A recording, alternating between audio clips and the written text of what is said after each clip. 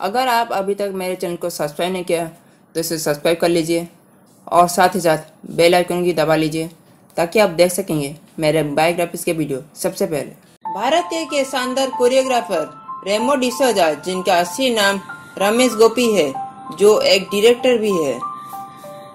वो हिंदी सिनेमा में अपनी बेहतरीन कोरियोग्राफी और फ़िल्म फालतू और एबीसीडी के लिए जानने जाते हैं। रेमो डिसोजा का जन्म 2 अप्रैल 1972 को कर्नाटक के बेंगलोर में हुआ था।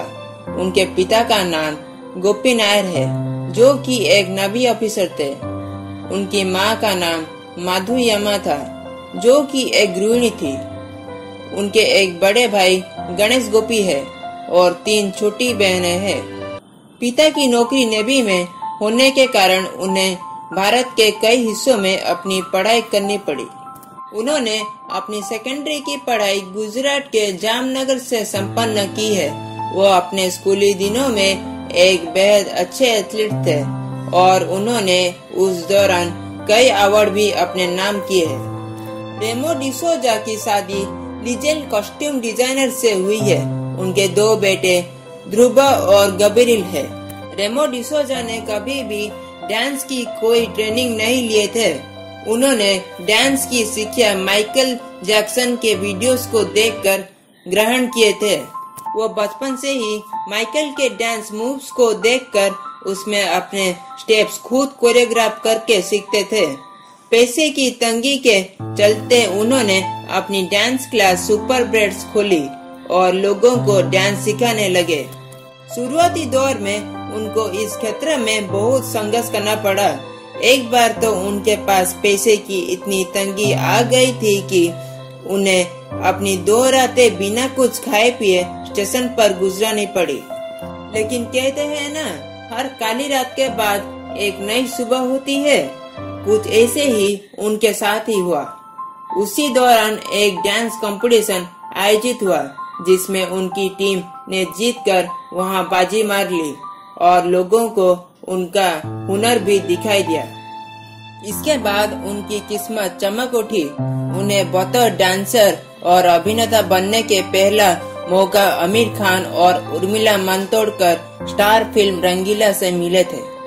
इस फ़िल्म में उनके डांस को आलोचकों ने भी नोटिस किया और उनकी तारीफ़ की। इस फ़िल्म के बाद वो कोरियोग्राफर अहमद खान को असिस्ट करने लगे।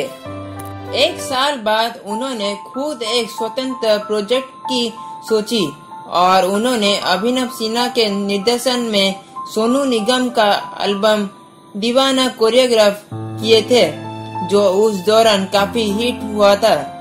उसके बाद उन्होंने कई और बड़े निर्देशकों के साथ वीडियो एल्बम में काम किया। उनके करियर का टर्निंग पॉइंट फ़िल्म कांटे का आइटम सॉन्ग इस समंदर रहा। जो उन दिनों में बहुत हिट रहा था। इसके बाद कई हिट फ़िल्मों के गानों को कोरियोग्राफ करके उनका करियर और उनकी प्रसिद्ध लगातार बढ़ती चली गई। उसके बाद उन्होंने निर्देशन की दुनिया में अपनी किस्मत आजमाने की सोची और फ़िल्म फालतू का निर्देशन किया। इस फ़िल्म में लीड जैकी भगनानी नज़र आए थे। फ़िल्म ने बॉक्स ऑफ़िस पर औसत व्यापार किया था, लेकिन दर्शकों और आलोचकों ने उनके निर्देशन की तारीफ़ की थी। उसके बाद साल 2013 में उन्होंने डांस बेस्ड फ़िल्म एबीसीडी का निर्देशन की थी। इस फ़िल्म ने बॉक्स ऑफ़िस पर काफ़ी अच्छा व्यापार किया और साथ ही आलोचकों ने उनकी फ़िल्म की बेहद सराहना की थी। साल 2015 में उन्होंने अपनी दूसरी फ़िल्म एबीसीडी का सीक्वल लेकर आए। इस फ़िल्म में वरुण धवन, श्रद्धा कपूर, प्रभु देवा मुख्य भूमिका में नज़र आए। रेमो डिसोजा एक कोरियोग्राफर के साथ साथ एक जज भी है। उन्होंने अपने टीवी करियर की शुरुआत जी टीवी के dance based reality show Dance India Dance से की थी। के साथ ही वो कलर्स के डांस बेस्ड रियलिटी शो झलक दिखला जा में भी बतौर जज नज़र आ चुके हैं। फ़िलहाल वो स्टार प्लस के dance based reality show, Dance Plus में सुपर जज की भूमिका अदा कर रहे हैं। रोमियो डिसोजा कई पुरस्कार जीते हैं। उसमें से ये जवानी है दीवानी।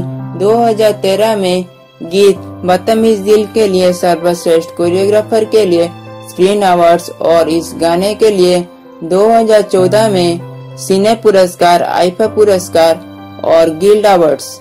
बदतमीज दिल और बलम पिचकारी 2014 के लिए सर्वश्रेष्ठ कोरियोग्राफर के लिए रेनल्ड स्टार गिल्ड पुरस्कार। फ़िल्म एबीसीडी टू 2015 के लिए सर्वश्रेष्ठ कोरियोग्राफर के लिए स्टार डस्ट अवार्ड्स और 2016 में screen awards.